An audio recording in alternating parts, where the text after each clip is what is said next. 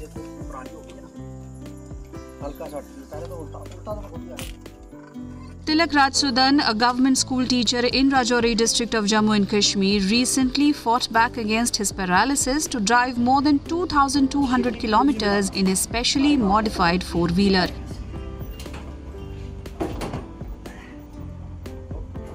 ये आ गया हमने ये रखा इधर, अब आप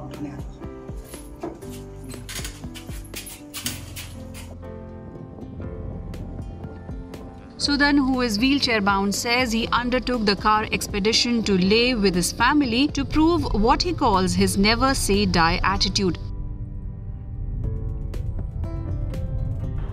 सौ ग्यारह पॉइंट आठ। इतना ड्राइव किया है। बस आपकी दुआएँ चाहिए। इसी तरह मैं अपने परिवार के साथ मिला रहा हूँ। स्पाइनल कार्ड होते हुए मेरे आप सबसे जो स्पाइनल कार्ड वाले घर बैठे हुए हैं उन सबसे एक मेरी रिक्वेस्ट है प्रेयर है प्रार्थना है।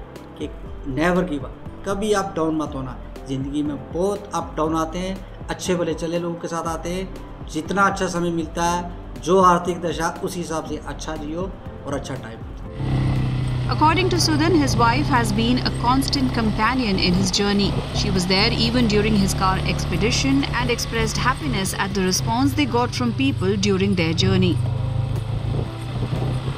ये जो पूरा डिस्टेंस था ये 2211 किलोमीटर के अराउंड था और ये सारा ड्राइव मेरे हस्बैंड ने किया और वो एक व्हील चेयर यूज़र होते हुए डिसेबल होते हुए स्पाइनल कॉर्ड पर्सन होते हुए उन्होंने इतना ड्राइव किया और जहाँ जहाँ पे भी मैं इनको, चाहे वो ले हो, करगिल हो, नुब्रा वैली हो, पेंगोंग लेक हो या मनाली हो, जहाँ भी इनको मैंने उतारा, सब इनका वेलकम करने लगे कि इस कंडीशन में स्पाइनल कार्ड होते हुए ये बंदा गाड़ी कैसे चला रहा है।